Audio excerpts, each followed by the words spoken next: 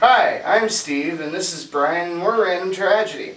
I'd like to speak to you today about a very serious matter that is affecting our community and the world as we know it. Rivers Cuomo from Weezer is a dick.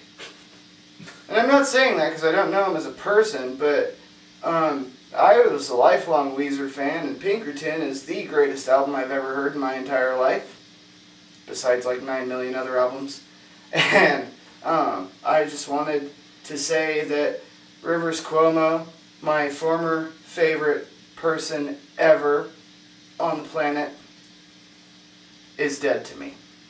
And in honor of Rivers, we'd like to bow our heads for a small moment of silence.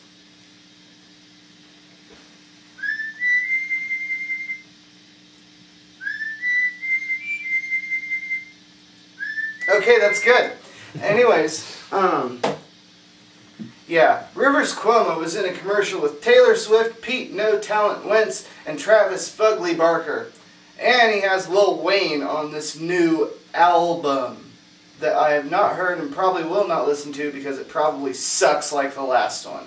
So anyways, here's the unveiling of the new song that we wrote five minutes ago called Rivers Cuomo Sucks.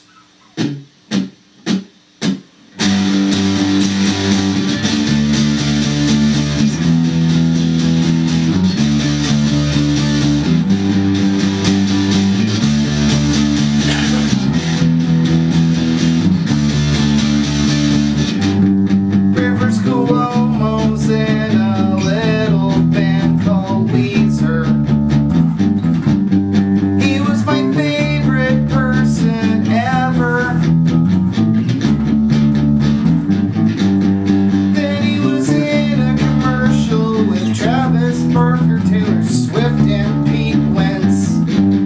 Now I don't give a shit about him. He's dead to me.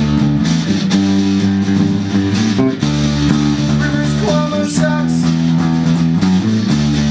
Rivers Cuomo sucks. Fuck you, Rivers. I bought